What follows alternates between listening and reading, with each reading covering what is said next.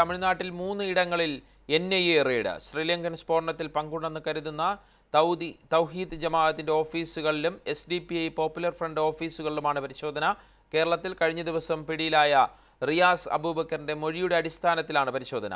മനോജ് ശങ്കർ ചേരുന്നു കൂടുതൽ വിവരങ്ങളുമായി. മനോജ് ഏതൊക്കെ കേന്ദ്രങ്ങളിലാണ് ഇപ്പോൾ പരിശോധന നടക്കുന്നത്?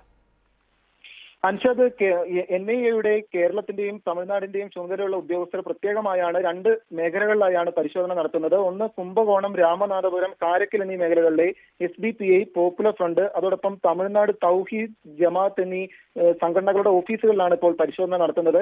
ഇത് കേരളത്തിലെ അന്വേഷണ സംഘ ഉദ്യോഗസ്ഥരാണ് ഇവിടെ തെരച്ചിൽ നടത്തുന്നത്. നേരത്തെ കഴിഞ്ഞ ദിവസങ്ങളിൽ അറസ്റ്റിലായ റിയാസ് അബൂബക്കറിന്റെ മൊഴിയുടെ അടിസ്ഥാനത്തിലാണ് ഉദ്യോഗസ്ഥർ പരിശോധന നടത്തുന്നത് എന്നാണ് മനസ്സിലാക്കുന്നത്. ഏകദേശം ഇപ്പോൾ അരമണിക്കൂറോളം പിന്നിടുകയാണ് പരിശോധന. നേരത്തെ തന്നെ ശ്രീലങ്കയിൽ ചാവേർ ആക്രമണത്തിന്റെ രീതിയിൽ കേരളത്തിലും സ്ഫോടന പരമ്പരകൾ നടത്താൻ പദ്ധതിയിട്ടതായി ഈ ഇവർ ഇദ്ദേഹം തന്നെ വ്യക്തമാക്കുകയും ചെയ്തിരുന്നു. ഇതുമായി ബന്ധപ്പെട്ടുള്ള കൂടുതൽ ചോദ്യം ചെയ്യലിലാണ് ഇപ്പോൾ ഈ S D P I popular fund Tamil Nadu Thowheed Jamaat ഈ സംഘടനകളുടെ കുംഭകോണത്തെയും രാമനാഥപുരത്തെയും കാരക്കലിലെയും ഓഫീസിൽ പരിശോധന നടത്തുന്നത്. രാമനാഥപുരത്തും കാരക്കലിലും പരിശോധന ഏകദേശം പൂർത്തിയായി എന്നാണ് മനസ്സിലാക്കുന്നത്. കുംഭകോണത്ത് ഇപ്പോഴും പരിശോധന നടത്തുകയാണ്. അതേസമയം ട്രിച്ചിയിൽ ഒരു ധർമ്മ ട്രിച്ചിയിൽ ധർമ്മപുരിയിൽ മറ്റും പി എം കെ നേതാവ് രാമലിംഗം കൊല്ലപ്പെട്ടതുമായി ബന്ധപ്പെട്ട് എസ് ഡി പി പ്രവർത്തകർ പ്രതിപ്പട്ടികയിലുണ്ടായിരുന്നു. ഇതുമായി ബന്ധപ്പെട്ടാണ് തമിഴ്നാട്ടിലെ എൻ ഐ ഉദ്യോഗസ്ഥർ ഇവിടെ തെരച്ചിൽ നടത്തുന്നതെന്നാണ് മനസ്സിലാക്കുന്നത്.